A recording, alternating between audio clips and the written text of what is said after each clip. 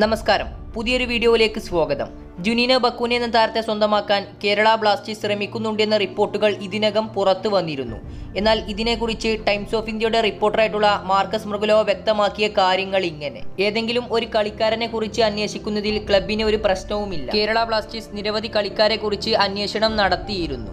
എന്നാൽ അതിനർത്ഥം താരം കേരള ബ്ലാസ്റ്റേഴ്സുമായി സൈൻ ചെയ്യുമെന്നതല്ല. അതേസമയം കഴിഞ്ഞ സീസണിലേക്ക് വേണ്ടി കേരള ബ്ലാസ്റ്റേഴ്സ് ഹ്യൂഗോ ബോമസിനെ ടീമിലെത്തിക്കാൻ അന്വേഷിച്ചിരുന്നു എന്നും മാർക്കസിന്റെ റിപ്പോർട്ടിൽ പറയുന്നു. മാർക്കസ് ഈ ഒരു റിപ്പോർട്ടിൽ വ്യക്തമാക്കുന്നത് ഒരുപക്ഷെ ജുനീന ബക്കുനക്കായി കേരള ബ്ലാസ്റ്റേഴ്സ് അന്വേഷണം നടത്തിയിട്ടുണ്ടാകാം.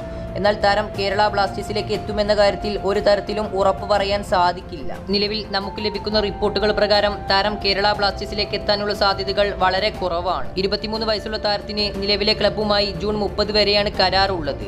എന്നാൽ നിലവിൽ ഇദ്ദേഹത്തിന് യൂറോപ്പുകളിലെ മികച്ച ക്ലബ്ബുകളിൽ നിന്നും ഓഫറുകളുണ്ട്. അതുകൊണ്ട് തന്നെ താരം ഐ എസ് എല്ലിലേക്ക് എത്താനുള്ള സാധ്യതകൾ കുറവാണെന്ന് തന്നെ പറയാം. കൂടുതൽ ഐ എസ് എൽ വാർത്തകൾക്കും വിശേഷങ്ങൾക്കുമായി ചാനൽ സബ്സ്ക്രൈബ് ചെയ്യുക. നന്ദി.